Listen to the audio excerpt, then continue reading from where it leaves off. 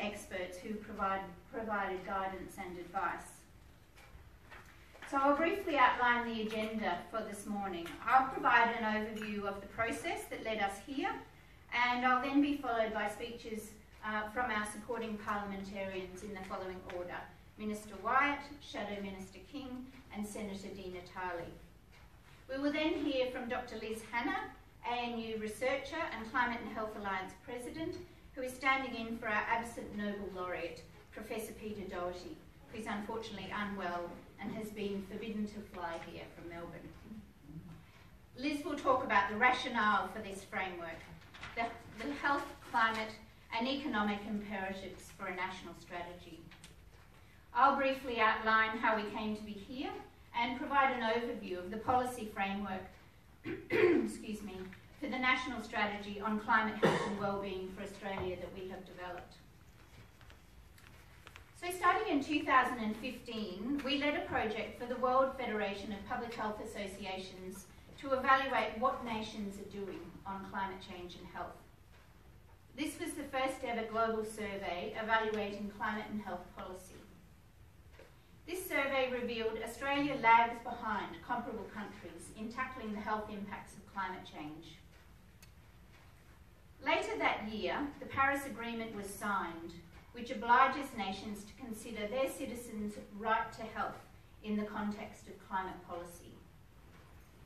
Without a national strategy or a mechanism to consider health in, climate, in climate policy decisions, Australia will fail in its obligation under this international agreement.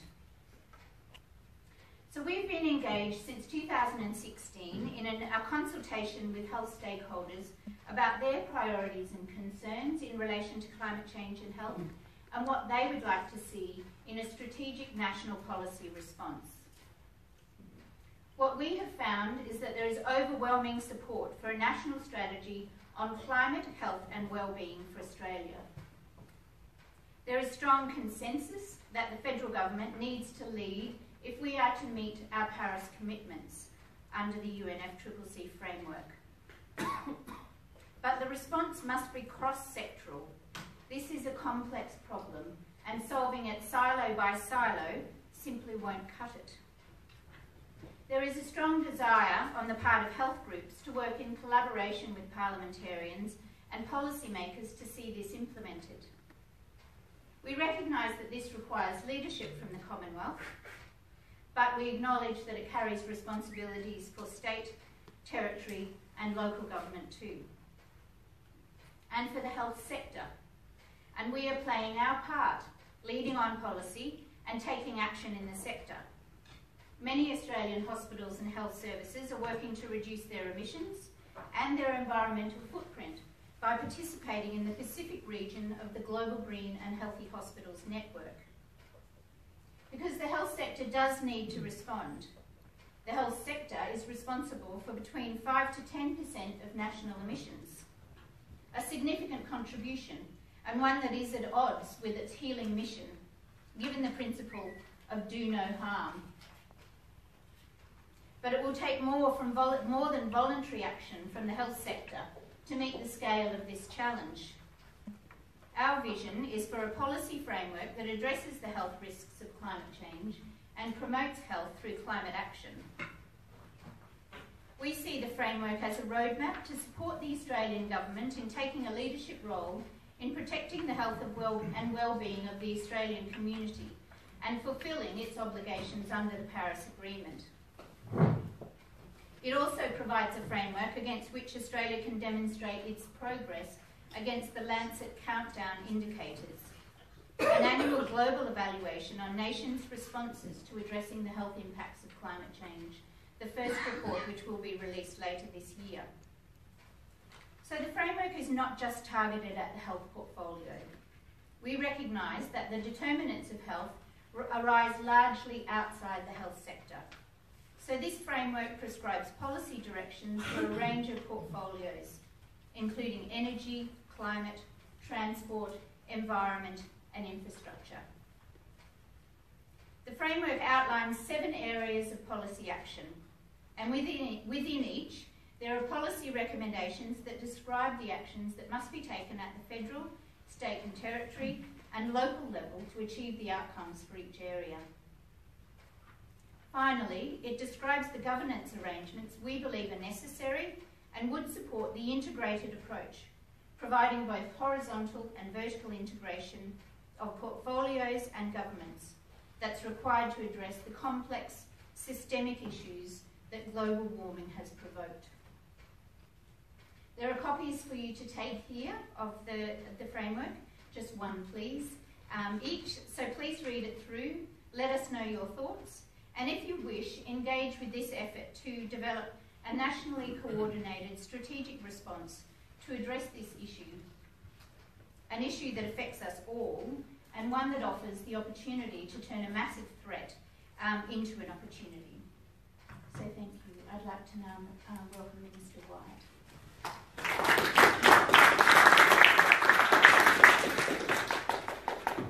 Thank you very much, Fiona. Good morning and thank you for the introduction. Before I begin, I'd like to acknowledge the Ngunnawal and Ngambri people, traditional custodians on the land in which we meet, and I extend my respects to elders, past, present, and future, and to any Indigenous person here this morning. I'd like to acknowledge Dr. Liz Hanna, Pres President, Climate and Health Alliance, Fiona Armstrong, CHA Executive Director, Senator Richard Di Natale, Leader of the Australian Greens. I will acknowledge Nobel Laureate and former Australian of the Year, Professor Peter Doherty, OA, OA uh, Mr Nick Horsburgh, who with his team put this report together, uh, Catherine King, the Shadow Minister for Health, and I, it's a pleasure to be here with you. Mark Butler, I want to acknowledge your presence as well and for the work that you've done.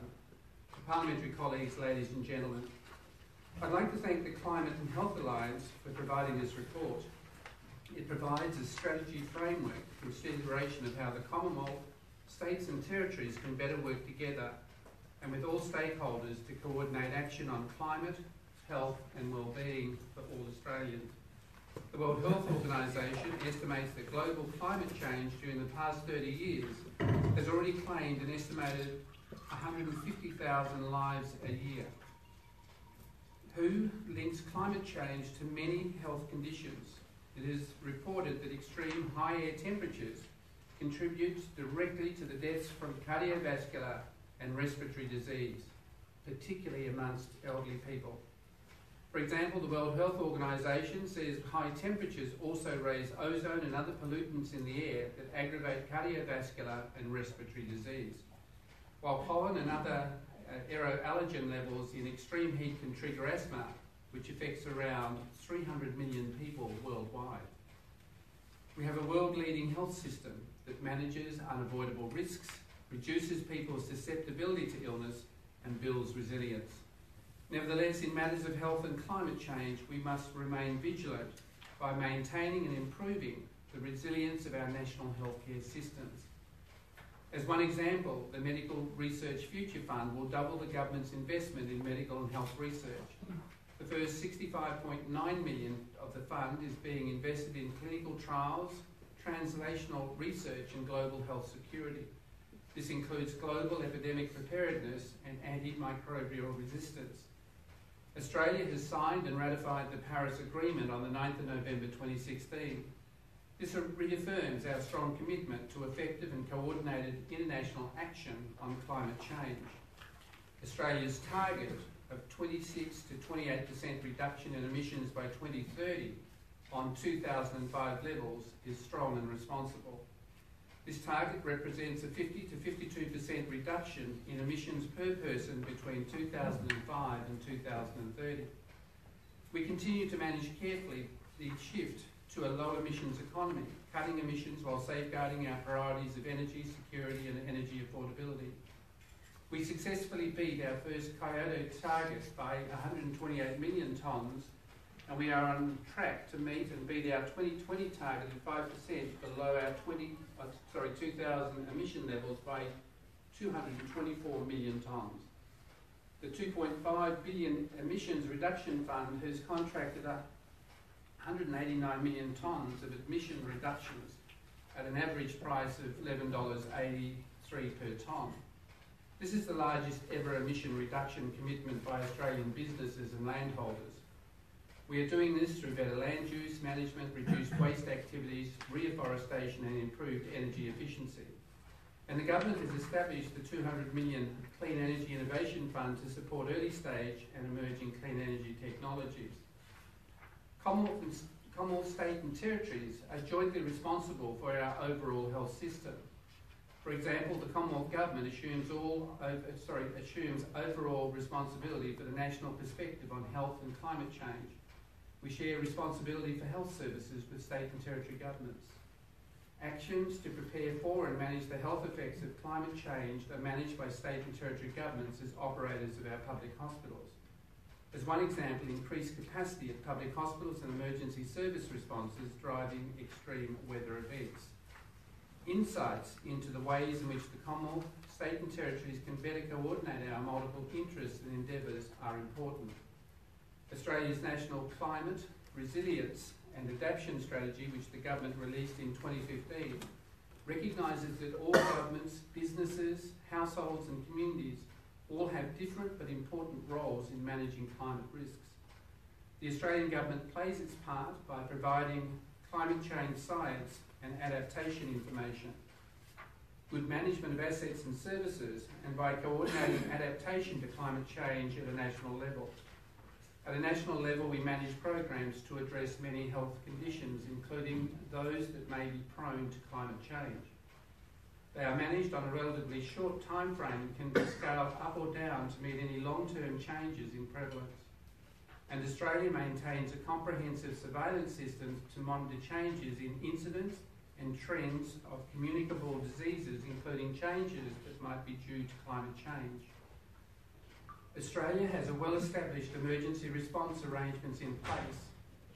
These include ongoing management of key environmental risks and hazards, such as bushfires and cyclones.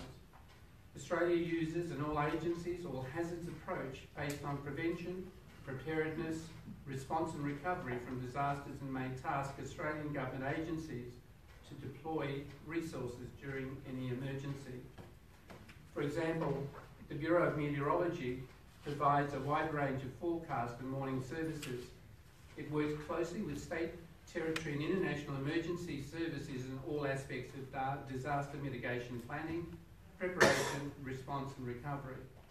Australia maintains a range of support services which are made available for use in uh, national responses to public health emergencies, including extreme weather events, through the National Health Emergency Management Standing Committee, which provides advice on national approaches to prepare and respond to health impacts of emergencies. And we acknowledge the extensive consultation with healthcare and policy stakeholders in drawing up this important report. The independent voice of this strategy framework add values, adds value to policy discussions, and I thank all those involved in preparing this report. I'd like to acknowledge uh, the commitment of all governments over a period of time uh, in respect to many of the issues that I have read within the report. And certainly I want to acknowledge uh, Peter and Lynn, who I work with in New South Wales Health, who in many senses talk to me about the, emergence, the emerging issues around this topic. When we work together uh, in New South Wales, and certainly I recall very vividly a presentation that was given to us on the impact for New South Wales if we ignored uh, the way in which the temperature uh, would impact across the state in many uh, aspects of daily living. And that's left an indelible impression. So I just want to say I've read the report with interest in its draft form. It's good now to see the Lancet uh, priorities listed. And I congratulate all of you, and I will have further discussions with my uh, senior minister, Minister Hunt. So thank you very much.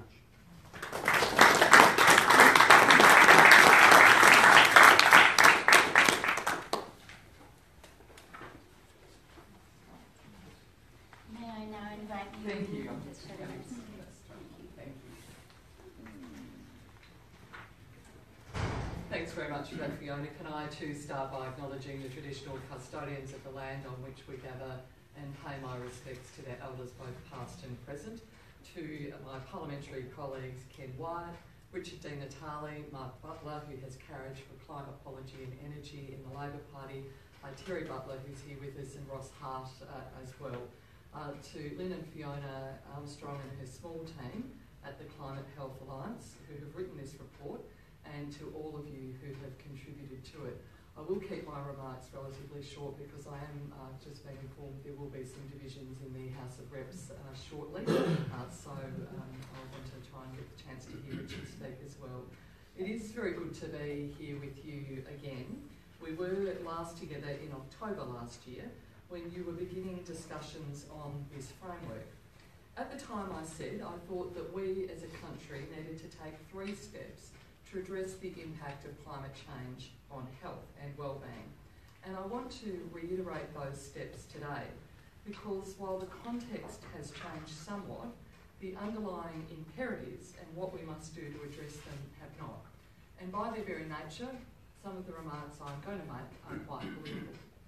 First, I said that we need to accept the science of climate change as well as its impact on health, unequivocally. Of course, those are things that everyone in this room accepts. But the science of climate change is not accepted by everyone in this parliament or everyone in the government. The unfortunate reality is that we will struggle to address this global challenge while we are still fighting what my colleague Mark Butler describes in his forthcoming book, The Climate Wars. Second, I said in October that we needed to take immediate and effective national action to mitigate climate change. This is where the context has changed most. Alan Finkel's recommendations are not perfect, but they at least offer hope that we will move beyond direct action. And yet, frankly, after one meeting in the Liberals Party room, the outcome of Finkel is two more meetings in the Liberal Party room. And bear in mind that this is a report that rules in, rules in new coal-fired power stations. But as Professor Doherty says in his foreword to this report, without urgent action on climate change, the conditions that underpin the health and well-being of the human population will be greatly diminished in coming decades and may only be available to a small number of people living in a few parts of the planet by the end of this century. No political party can ignore this. That's why I'm very proud to say that in government Labor will develop a national strategy on climate change and health and wellbeing and it will be informed by the framework you have developed today. We think that it is a good and sensible step and it will drive future policy in this space. We know the health and economic and climate imperatives are there for action and that we need national action to get there. In this third step, as I discussed in October, of course that is why we are here today. We need to recognise the reality of climate change and taking national action to mitigate it. We need to develop specific policy responses to the impact of climate change. I commend all of you on the work that you have done in this framework. It is a very comprehensive and complex piece of work and I look forward to working with you we are lucky enough to form a government at the next election to develop such a strategy. Thank you for having me here this morning.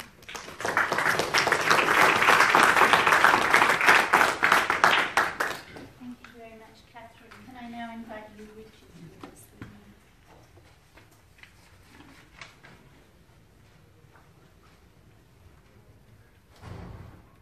Thanks very much. Um, Firstly, let me also acknowledge the Ngunnawal people as the traditional owners of the land on which we meet and pay my respects to their elders past and present.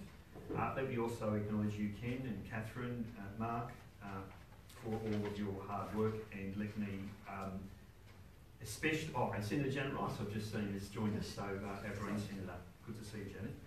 Um, and let me also acknowledge uh, Fiona Armstrong, the Executive Director of Climate and Health Alliance, to Liz Hanna as well, President, and um, our best wishes to Peter. I hope he gets uh, well soon. Um, let me acknowledge or extend a warm welcome to all of the Climate and Health Alliance member organisations, the stakeholders, all of the people in this room who have contributed to what is an excellent piece of work. And I want to congratulate you all for uh, launching this strategy today. There's never been a more important time for you to be in this building advocating for uh, a national framework to ensure uh, that we uh, transform everything we do right across our health systems to tackle this huge challenge.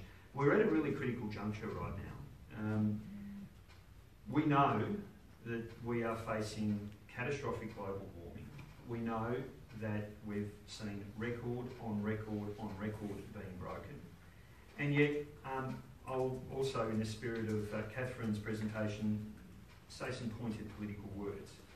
We've adopted targets in this country that won't honour the commitments we made in Paris. We simply cannot achieve the 1.5 degree uh, ambition that was acknowledged globally in Paris unless we drive our emissions down further.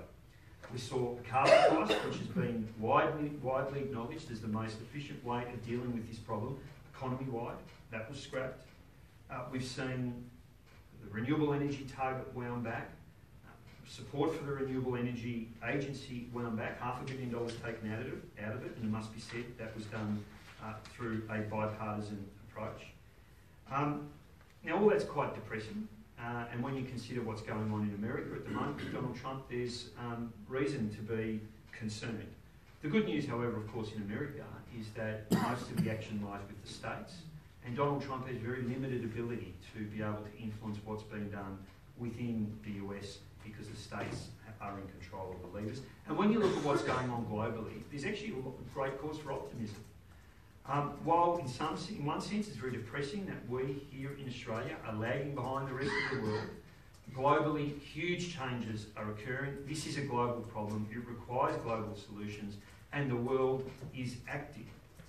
Uh, we know that the threshold for action is reducing. We know that the consequences of unchecked, dangerous climate change mean food insecurity, a rising infectious diseases. We're going to see extreme weather events we're going to see um, reduced air quality if we continue to generate uh, energy from coal. Um, we know, for example, that we're going to see the emergence of infectious diseases that we simply haven't seen here in Australia. For example, when it comes to extreme weather, it was the heat wave preceding the Black Saturday bushfires in Victoria that claimed more lives than the bushfires did on their own. So, as somebody who is both the leader of the Greens, a party that has a long-standing commitment to address dangerous climate change, but also somebody who is a doctor who has seen um, this issue up close, both of those um, things mean that I remain absolutely steadfast in ensuring that we chart a very different course. Um, the uh, Lancet recently said that climate change is the biggest global threat of the 21st century. What they also said uh, was that it is one of the greatest health opportunities this century. Because when we address dangerous climate change, when we make this transition, we're also helping to generate a number of other co-benefits. Uh, the research is absolutely clear that if you adopt climate change mitigation policies, you have a hugely positive impact on health. Um, when you transform your energy sector, when you transform your transport uh, sector, when you make sure that you plan your cities in a way that encourages active transport and drives down emissions, you actually produce a range of other co-benefits. It means reductions in things like heart disease and obesity, reductions in things like diabetes, of course road deaths, uh, injuries and improved air quality. Uh, it reminds me of that cartoon I saw which was something along the lines of um, what if climate change is a big hoax and we create a better world for nothing? And that's what we're dealing with here. If we make this transition, we actually ensure that we create a healthier, more sustainable community into the future. Of course, if we don't act, every year we delay action, the cost of inaction grows. And the cost to the health budget will grow exponentially unless we take these steps. So let me congratulate uh, the um, uh, Climate and Health Alliance for what I think, as Catherine outlined, sets a very sensible and achievable course of action. So critical that we don't just see health as a, uh, climate change as, as an issue of energy security and energy prices, but also as something that directly impacts the health of every single Australian. And the national strategy sets out a framework for how that um, how we respond to that challenge. So I want to just finish by saying you've got my full support. You've got the full support of the Australian Greens. Um, we do know that if we don't act, we will be a generation that hands down worse living conditions to our children than we enjoyed, reversing the, the, the whole trajectory of human progress. We are facing a crisis. The window in which we need to act is closing, it's closing fast. But let's also remember that if we embrace this transition, we create jobs, we bring in investment, and we create a healthier planet for everybody. Good luck, everyone. Thanks.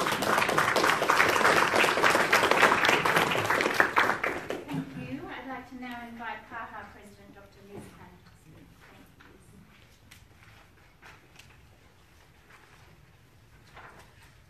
Uh, greetings all and, uh, and thank you for coming and I too would like to acknowledge um, the land, the Ngunnawal people and their elders past and present, uh, the land that we've gathered here today. Um, and also, as others have done, uh, we very much appreciate on behalf of CAHA the, um, the enthusiasm and the attendance here uh, um, Minister, Minister Ken Wyatt, Shadow Minister Catherine King, Richard Di Natale, um, Mark Butler, Janet Rice and others in the, in the room. I'd also like to acknowledge the health expertise that we have here in this room and the very strong support that we actually have in, in pursuing this issue in that climate change is a health issue and this is essentially why we're here today. Um, and so in November 16, the Australian government ratified the 2015 Paris Agreement, and by this act, we as a nation, as Fiona has suggested, mm-hmm. uh, by this act, we as a nation formally agreed to consider the right to health of the citizens in the context of the nation's climate change response, and to also recognise the co-benefits that can be gained um, in developing our national mitigation strategies. So the framework we launched today provides a roadmap to achieve this commitment. Uh, so climate change is an emerging global issue. It's unravelling before our eyes, as we're actually seeing in the um, as the you know global disasters uh, keep unravelling. Um, and so all countries are struggling to grapple with their responsibilities in terms of their mitigation targets, how strong they need to be, how much time we have, um, and how to achieve them with the minimum disruption. But nations must also consider disruption now versus disruption in the future, the uncertain future. So we know that the climate change, climate science is now well settled, um, and residual uncertainties are merely how bad and how soon. Um, and so this depends obviously rapidly on how rapidly and how deeply we decarbonise the world. But a further challenge is, is how do we address these effects at home? Um, Fiona's mentioned that the Climate and Health Alliance um, is an alliance of the health sector, and you saw those logos on, on, on the slides that are rolling through. Um, and so we're an alliance of health workers who are concerned about Australia's lack of progress and our unpreparedness uh, for what has already started to unfold and the worst of what is yet to come.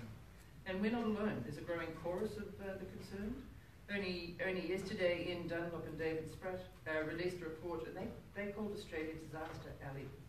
Um, and as many of you know, will know that Ian Dunlop was an international oil, gas and coal industry executive, chairman of the Australian Coal Association, and chief executive of the Australian Institute of Company Directors.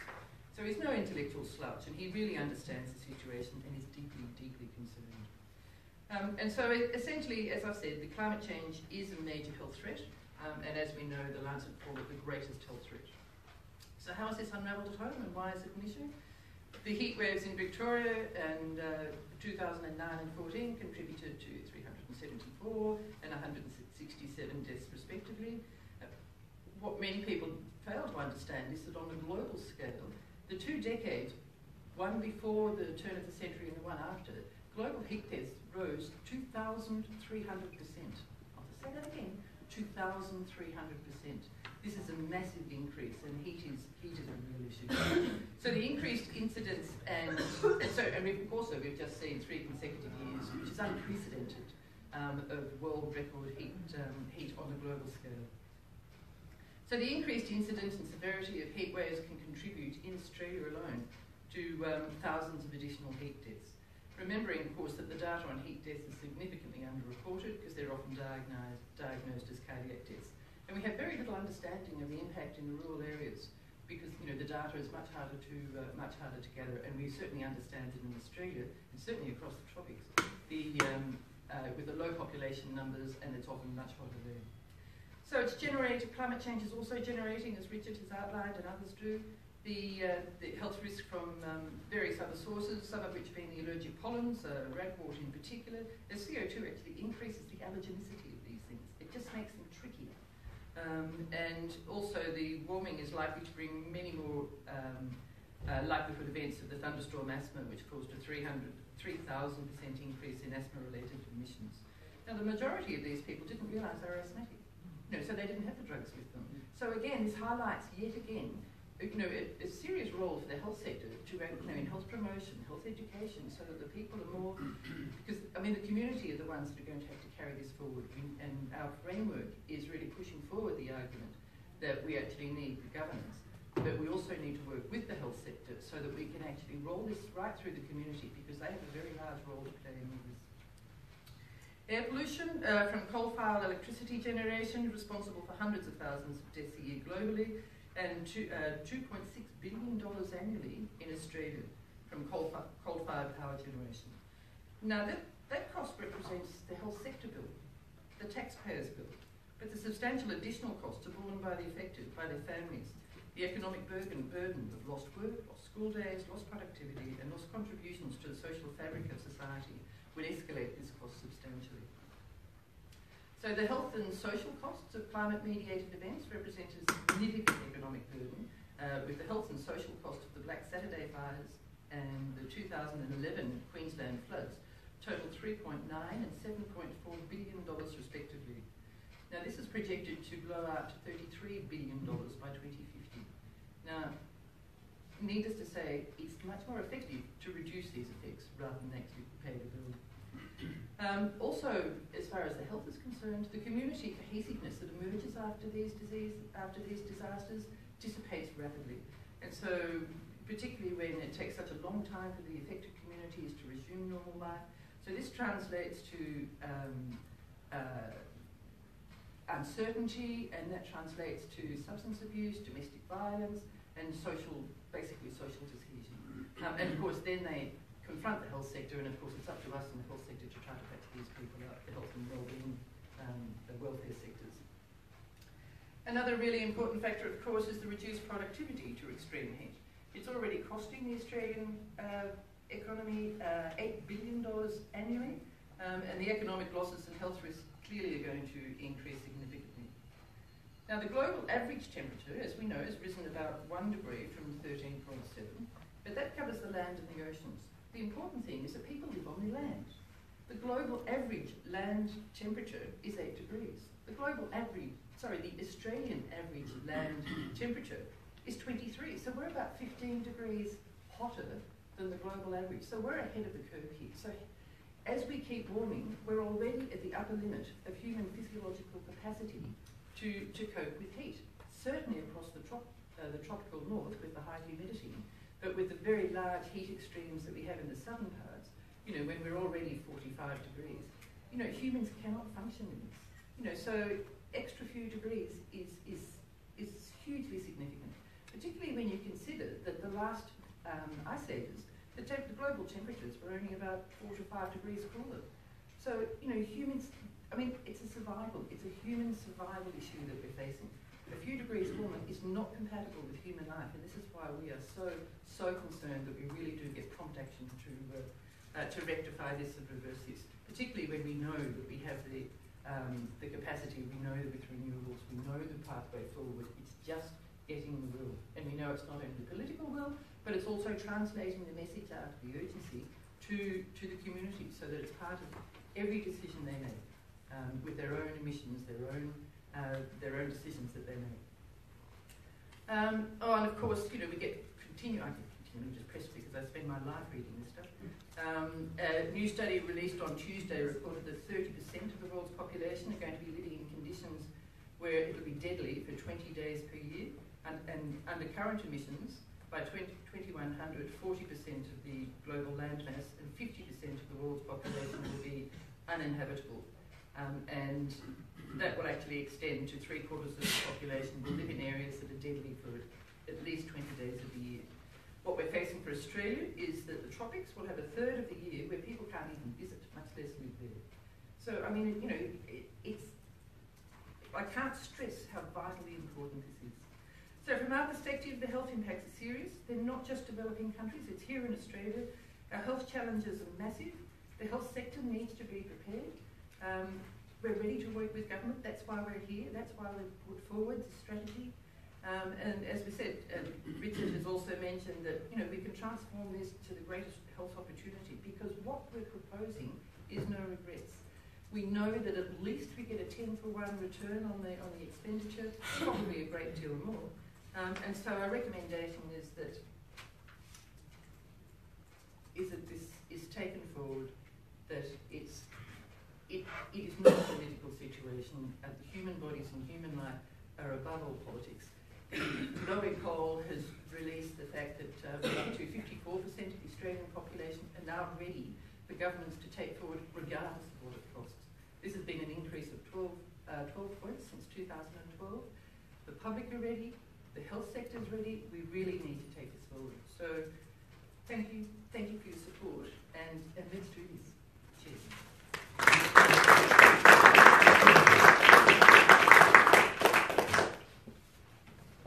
Thank you very much, Liz, and um, thank you particularly to the parliamentarians for your support and, um, and your commitments today. I just want to emphasise this isn't simply a Climate and Health Alliance document. You can see from the slides that this is supported by a large coalition of health groups and, um, and as presented by the slides in the document. So I just want to reiterate my invitation to you all to engage with this document um, and to support this effort. Um, we welcome the commitments that we've heard um, from parliamentarians today and look forward to working with everybody across the parliament to see this um, framework for a national strategy on climate health and wellbeing implemented.